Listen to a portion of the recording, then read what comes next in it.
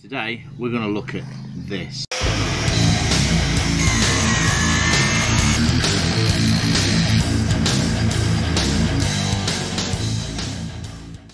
T-brake.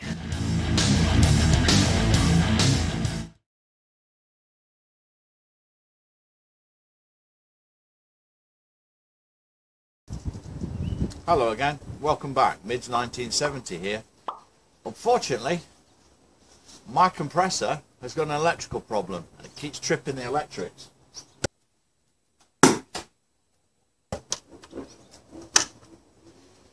So, it's time to find out what's wrong with it and put it right.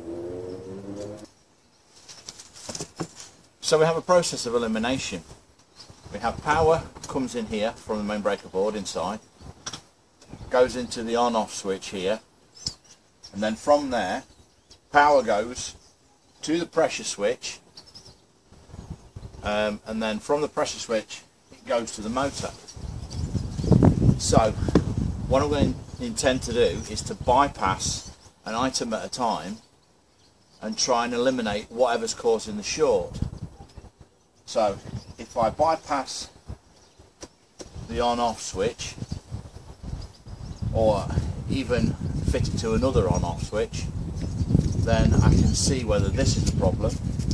And if I bypass the pressure switch and wire it direct to the motor so the motor switches on when you press the button then we'll see whether it's the pressure switch that's at fault. And if it's if it, there's only power going in a direct line to the motor and it still trips then it has to be the motor. Most likely the capacitor's old and knackered. And a new capacitor should fix the problem. But we have to see which one is at fault.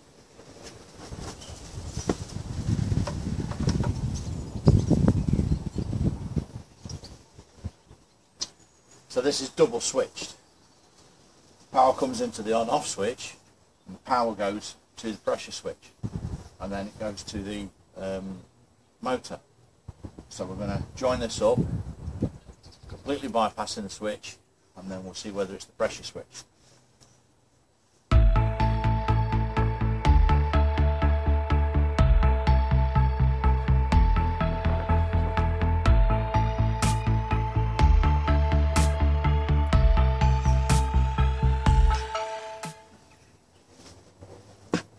So I'm going to turn the power on, try it again.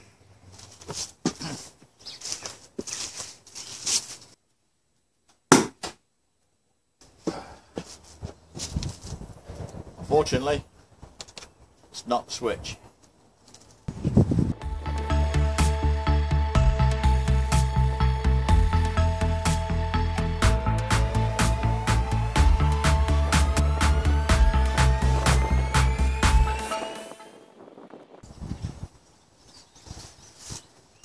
Now the power is going to come directly in from the main switch inside straight to the motor. Now this is a this is fine for a test purpose because you can switch the motor on. If it runs you can switch it back off again but you should never run it in service wired up like this because there's nothing to stop it the tank from exploding. So we'll give it a switch on now and see how we get on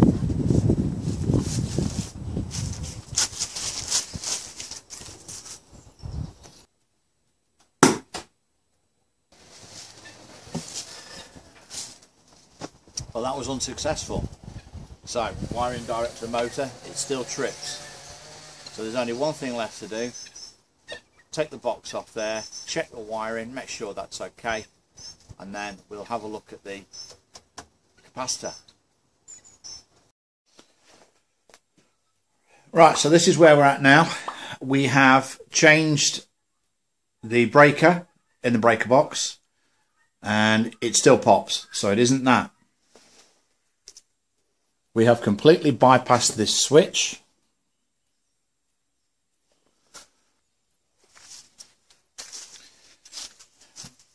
We have bypassed the on-off switch here and we have bypassed the pressure switch there. So power is coming in directly to the motor and even with a new capacitor on it, it's still tripping the electric. But if you disconnect that from the motor, and switch the power on, nothing happens because there's an open circuit there. So that means that the problem has to be in the motor. Right, the motor is now free. Let's lift it out.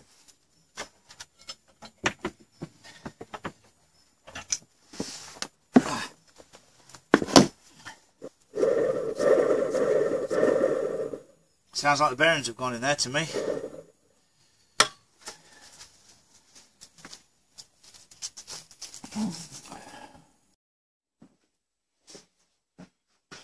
This is the old motor off the compressor.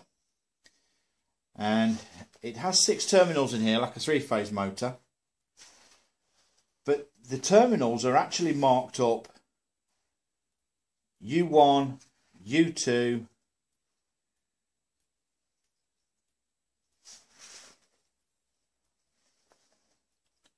U3, U4, 5 and 6. And I've looked online and I can't find anything about this motor. Not about that setup anyway. So we have continuity between U1 and U2. We have continuity between U3 and 5. But there is no continuity between U4 and 6. I figure that's where maybe the problem lies. So if anybody does have any ideas what might be wrong with this motor, and if it is fixable, please leave me comments below. And I might return to this on a later project. But for now, it's too much for me. Time for a new motor.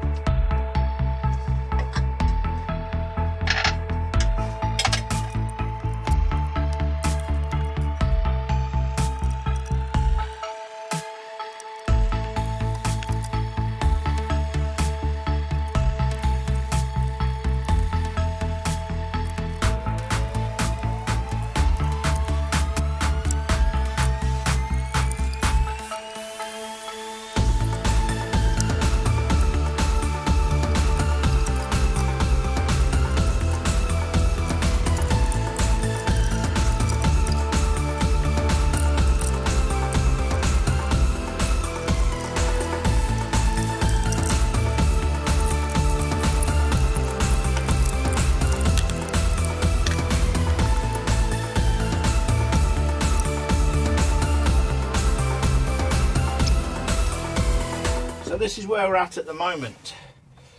We've got the wire through onto the motor, earth connected, now we've got to connect the power. But currently this needs to run a clockwise direction and at the minute it's set up to run in an anti-clockwise direction.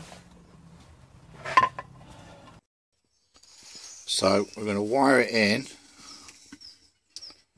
to this one so that it runs counterclockwise or anti-clockwise. Let's change it over.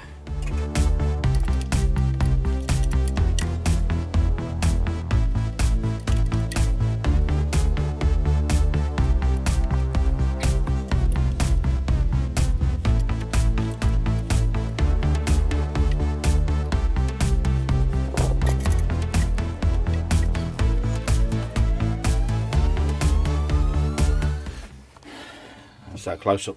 The dog bones are currently this way. We need to take them off and turn them through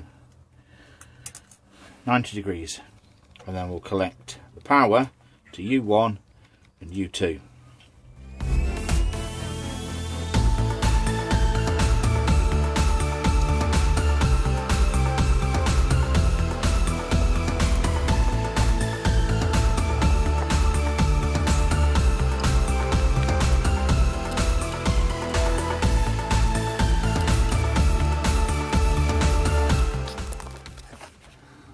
There's the wiring completed.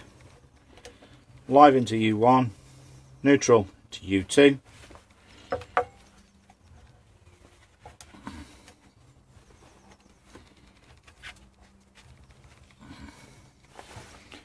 Let's give it a test.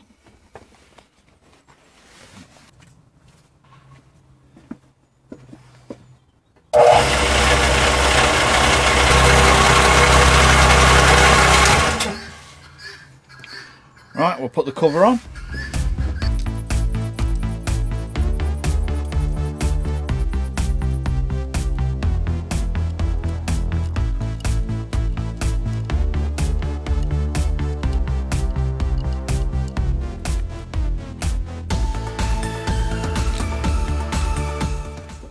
Now we'll give it a full test and see if it cuts off at pressure.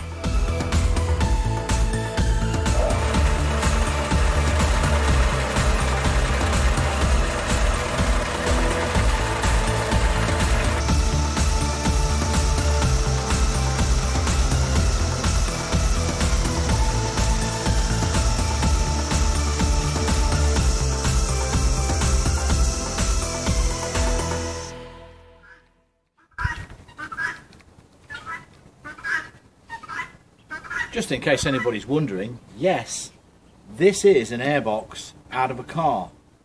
So that way I can filter the air and get a lot more volume through than just a, a normal little air filter on here. Makes a big difference. And the compressor is now fixed. It's an expensive repair to put a new motor on, but unfortunately that's what I've had to do. If you've enjoyed this video, please remember to like, subscribe and click the little bell icon. That way you can get notifications when I post a new video. Please leave a comment below. This is a totally free way for you to support my channel so that I can bring you new and interesting videos on a regular basis. Thank you very much for watching. Goodbye for now. See you soon.